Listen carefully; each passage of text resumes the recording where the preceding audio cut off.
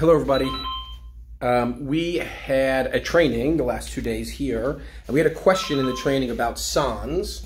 And basically, what we did was set up a, a little bit of a makeshift thing in our uh, training room, in our conference room, to show this. What we did was we used the um, Leica traceable rod, and this is neat because it allows you to either plug both in and it just electrifies the tip uh, of the rod as a sonde, or you can actually unplug one and put it to a ground and it'll electrify the whole rod. So it's sort of your choice. It comes with the sonde already.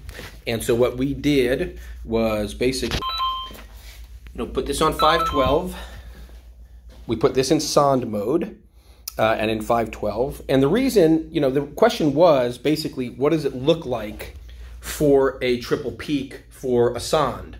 Um, and why does it have a triple peak? Well, it has a triple peak because the geometry of the signal coming out of the sonde is different than the geometry of the signal coming out of a service that you're pushing a current through, right? Current going through a service is going to have round magnetic fields, but coming through a sonde, it's going to have a different geometry. It's an elongated geometry, and there's a positive and negative pole to the sonde. Comes out of one side, goes into the other side, um, and so it's not exactly the same. So what we do is we put in here sonde mode, and then you know you want to actually hold it. Generally, you're going to hold it um, not this way like we normally do for locating, but you're going to hold it uh, 90 degrees shifted. And as you go down, right, you can see you get a little peak, big peak, little peak, little peak, big peak, little peak. And so the reason that happens is because those signals are different shapes, because the signal coming out of a sonde is a different shape than the signal coming out of a line uh, that you're pushing current through. And so you do get this sort of little peak, big peak, little peak with those two nulls in between.